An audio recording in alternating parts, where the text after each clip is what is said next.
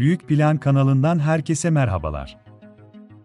KKTC'de mahkeme olarak görev yapan Taşınmaz Mal Komisyonu, 46 yıl kapalı kaldıktan sonra 2 yıl önce ziyarete açılan turistik Maraş kentiyle ilgili tarihi bir karar aldı.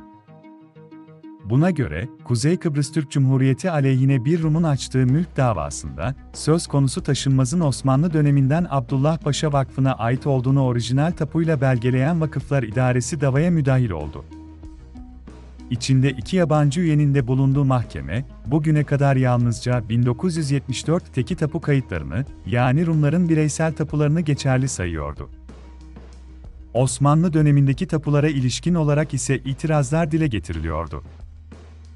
Komisyon geçen hafta, Vakıflar İdaresi'nin söz konusu davaya müdahil olma talebini değerlendirdi.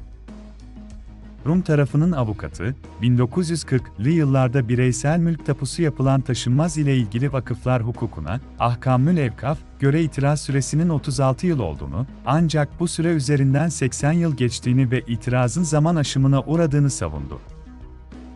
Vakıflar İdaresi avukatları ise orijinal tapuların 1990 yılında bir apartmanın bodrum katında bulunduğunu ve itirazla ilgili zaman aşımı süresinin bu tarihten başlaması gerektiğini bildirdi. Böylece komisyon, tarihinde ilk kez ihtilaflı bir mülk davasında Vakıflar İdaresi'nin davaya dahil olmasına karar verdi. Vakıflar bugüne kadar ancak davacı kabul ederse davalara müdahil olabiliyordu. Dünyada ve Türkiye gündeminde olan en güncel haberler için kanalımıza abone olmayı unutmayınız. Esenlikle kalın.